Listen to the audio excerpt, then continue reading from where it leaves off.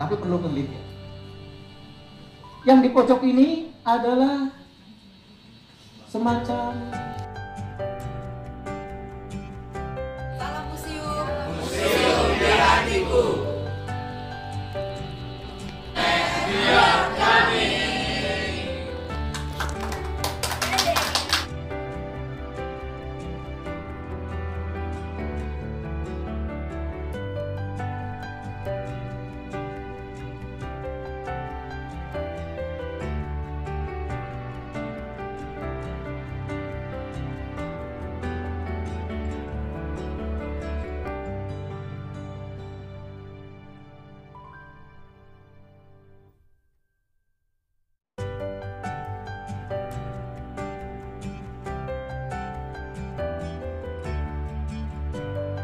Baik, eh, nama saya Agus Samori. Saya sebagai pimpinan Museum Loka Budaya Universitas Terabasi yang diundang oleh eh, teman-teman dari Fakultas Kedokteran Jaya untuk ikut kegiatan kolokium Museum Nasional Indonesia di mana museum-museum yang ada di bawah perguruan tinggi negeri dan informasi sudah ada 51.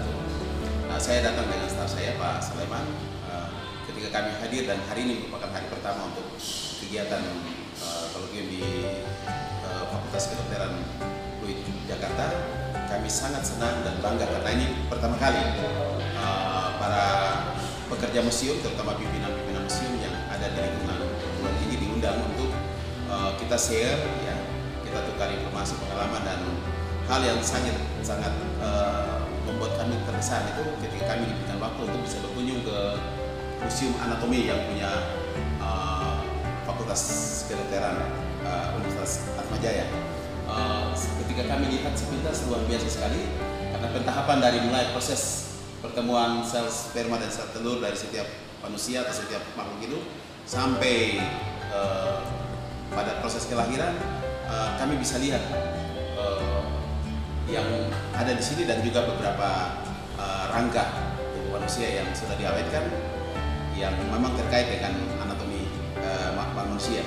Nah, itu memberikan inspirasi bagi kami, memberikan kesan bagi kami bahwa ini kalau boleh terus dikembangkan dan uh, mungkin mudah-mudahan uh, ya ada karena ketika kita bicara tentang manusia ini kan ada empat ras ini. Ada ras Mongol, ras Caucasoid, ras Australoid, dan ras uh, Negroid. Ya mudah-mudahan empat ras itu dia punya profil juga ada di sini. Ya kita bisa lihat di situ sehingga walaupun misalnya bicara tentang janin tapi ada janin mungkin dari ras negroid kita lihat seperti apa janin ras mongol seperti apa caucasoid seperti apa yang ada di sini sehingga dia lebih uh, lebih lebih berkembang lagi. Saya pikir itu yang bisa saya sampaikan.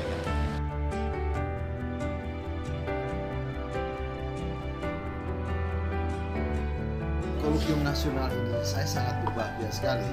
Memang kami tunggu-tunggu ketika kita bertemu di apa namanya di Solo kami mengusulkan adanya suatu pertemuan museum perguruan tinggi. Nah mudah-mudahan ini menjadikan eh, wahana kemajuan museum pendidikan tinggi karena posisi museum di pendidikan tinggi atau perguruan tinggi ini sangat eh, apa namanya eh, tidak disenangi karena posisinya hanya sebagai apa namanya media pendidikan akhirnya ya dana dan posisi sebagai kepala itu tidak pernah dipikirkan dengan jelas. Nah karena itu asosiasi ini atau persatuan para eh, pengelola museum atau museum ini kalau bisa bisa mengajukan posisi museum pendidikan tinggi dalam konteks eh, pengembangan pendidikan tinggi di Indonesia. Karena sudah dijelaskan bahwa di pendidikan tinggi itu basicnya adalah kita akan menuju world class university. Ketika kita bicara the world class university, maka museum itu a part of uh, dari perguruan tinggi yang, yang ada. Jadi untuk bisa menaikkan nama itu ada museum.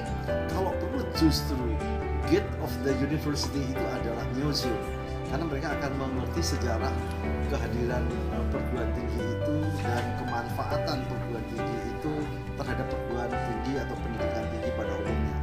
Dan saya sangat bahagia sekali teman-teman sangat akomodatif di dalam memberikan masukan dan saya kira eh, posisi dari Museum Pendidikan Tinggi tidak hanya sekedar untuk eh, bekerja di dalam negeri, tetapi kita juga punya eh, konektivitas dengan museum-museum di luar negeri se- seperti hanya tadi ICOM tadi ya. Sehingga nanti kalau itu bisa masuk, kita bisa memenuhi posisi perguruan tingginya, museumnya seperti apa, dan kita akan menjadi eh, museum yang profesional setingkat dengan dosen. Karena kalau di luar negeri ada arsiparis dan pustakawan itu posisinya tinggi ya, kenapa eh, pengelola museum kok tidak seperti itu? Kalau itu bisa didudukan sebagai gate of the university,